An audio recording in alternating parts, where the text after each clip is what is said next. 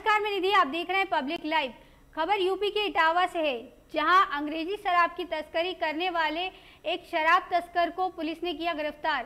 साथ ही तीन सौ छियानबे पेटी अंग्रेज़ी शराब 80 बीटी और एक ट्रक को अपने कब्जे में लिया। देखिए रानू दीक्षित की रिपोर्ट।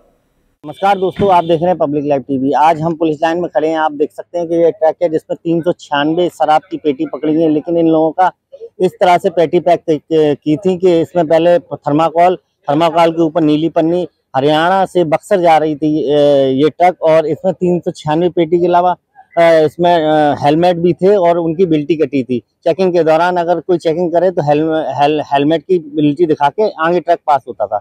देखने वाली बात यह है कि जो बिल्टी बनाते थे और, और दूसरे सामान की भी बिल्टी बनाते थे उन ट्रांसपोर्ट पर कब तक गाज गिरेगी?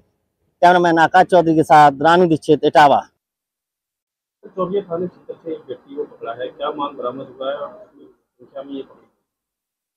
देखिए चौबिया थाना क्षेत्र में कल जो है करीब बहत्तर सौ अंग्रेज़ी शराब बहत्तर सौ लीटर अंग्रेज़ी शराब पकड़ी गई है।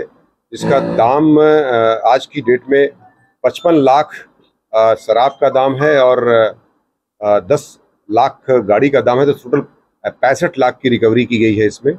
और आप देख रहे होंगे कि तीन प्रकार की ये तीन प्रकार की जो बॉटल्स हैं, इनमें सात सौ पचास एम की है, तीन सौ पचहत्तर एम की है और ढाई सौ एम की है। तो तीन प्रकार की बॉटल्स हैं। कुल चार सौ पेटियाँ, तीन सौ अट्ठानवे पेटियाँ इससे पकड़ी गई हैं। बहत्तर सौ लीटर इसमें शराब है अंग्रेज़ी। रॉयल चैलेंज नाम का ये ब्रांड है। हरियाणा के बहादुरगढ़ से ये बिहार बक्सर की तरफ़ जा रहा था और एक व्यक्ति जो पकड़ा गया है इसमें पंकज नाम का, जो समस्तीपुर बिहार का रहने वाला है तथा दिल्ली में प्रेम नगर में स्टेब्लिश्ड है ट्रांसपोर्ट का, स्वयं का इसका काम है और काफ़ी दिन से ये वहाँ पर पिकअप और छोटी गाड़ियाँ जो छोटा हाथी चलाता था और वहाँ से लोगों के संपर्क में आया शराब के इस सिंडिकेट से ये इसका संपर्क हुआ। उसी प्रकार से ये लाभ कमाने के लिए दो तीन बार ये अभी तक जो इसने पूछताछ से स्वीकार किया है दो तीन बार प्रकार की शराब ले जा चुका है। स्वयं अपनी गाड़ी चलाता है, इसके साथ एक आध व्यक्ति और बैठते हैं। इसमें तीन प्रकार के लोगों का नाम आया है, जिसमें एक बिहार के हैं जिनका, जिनके यहाँ जिनके यहाँ यह सर्व हो रहा था और ये स्वयं ट्रक का मालिक है जिसका ये जो पकड़ा गया है पंकज कुमार। साथ ही साथ ये प्रेमनगर में जहाँ स्टेब्लिश्ड है, उस ट्रांसपोर्ट से जो ड्राइवर होते हैं, उनका संपर्क हरियाणा के लोगों से है, जहाँ से ये शराब जो है आप देख रहे होंगे कि बिल्टी अस्सी बिल्टी इसमें है, जिसमें हेलमेट दिखाया जा रहा है। साथ ही साथ इसमें जो है नमक भी उसमें दिखाया जा रहा है। हार्पिक के नाम से भी उसमें बिल्टी बनी हुई है। लेकिन ऊपर केवल दिखाने के लिए सिर्फ़ छोटा हेलमेट रखा हुआ था। बाकी अंदर सारी शराब भरी हुई थी पूरे ट्रक में। इस प्रकार से एक बड़ी बरामदगी की गई है पचपन प्लस दस, पैंसठ लाख रुपए की।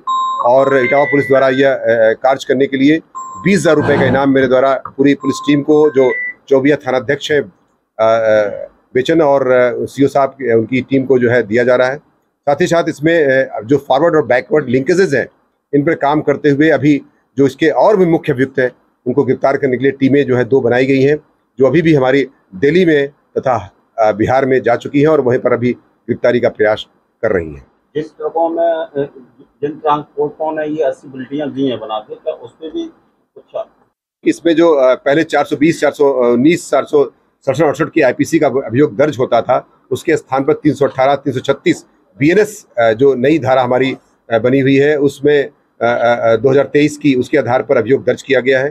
तथा इसमें जो आपने पूछा अभी कि जो इनकी बिल्टियाँ हैं, वो जहाँ से बनी हुई है, वह भी तफ्तीश का विषय वस्तु है। और इसमें जो भी इसमें फॉरवर्ड और बैकवर्ड लिंकेजेस हैं, उन पर भी काम करके हमारी टीमें वहाँ लगी हुई है। शीघ्र ही इसमें गिरफ्तारी करके अग्रिम गैंगस्टर की कार्रवाई तथा प्रॉपर्टी सीजर की भी कार्रवाई सुनिश्चित की जाएगी। इसका आपराधिक इतिहास तीन अभी तक पता चला है। ये बिहार से भी जेल जा चुका है।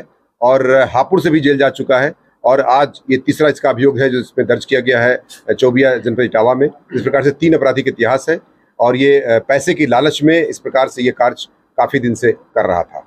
जैसा कि बताया जा रहा है ये बिहार लेकर जा रहे थे। बिहार बॉर्डर पर स्कैनर लगे हुए वहाँ से ये कैसे बचकर निकल अब ये जाँच का विषय वस्तु है और कैसे निकलते थे निश्चित तौर से ये जाँच का विषय वस्तु है इसमें जाँच की जाएगी। और जो भी इसमें तथ्य सामने आएँगे जो भी इसमें अभियुक्त होंगे निश्चित तौर से उनके खिलाफ कड़ी से कड़ी कार्रवाई की जाएगी। तो पुलिस को भी कुछ गुटवर्क दिया जा रहा है।